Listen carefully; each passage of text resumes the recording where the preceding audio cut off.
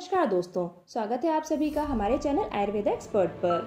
दोस्तों, आज की वीडियो में मैं आपको बताऊँगी कि करवा चौथ पर चाँद की पूजा में जब चंद्रमा को अर्घ्य दिया जाता है, तब क्या मंत्र बोला जाता है? इस मंत्र को बोलने से हमारी पूजा सफल होती है। हमारी सुख समृद्धि और मधुर संबंध के लिए हमें यह मंत्र चंद्रमा को अर्घ्य देते समय ज़रूर बोलना चाहिए।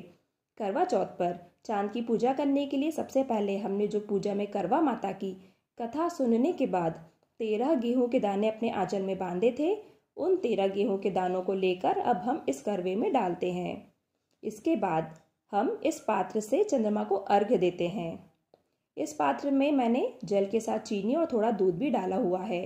इस प्रकार से चंद्रमा को अर्घ्य देते हुए हम बोलते हैं, गगन आर्णव माणिक्य चंद्र दक्षायणीपते, ग्रहण अर्घ्यम मया दत्तम गणेश प्रतिरूपक।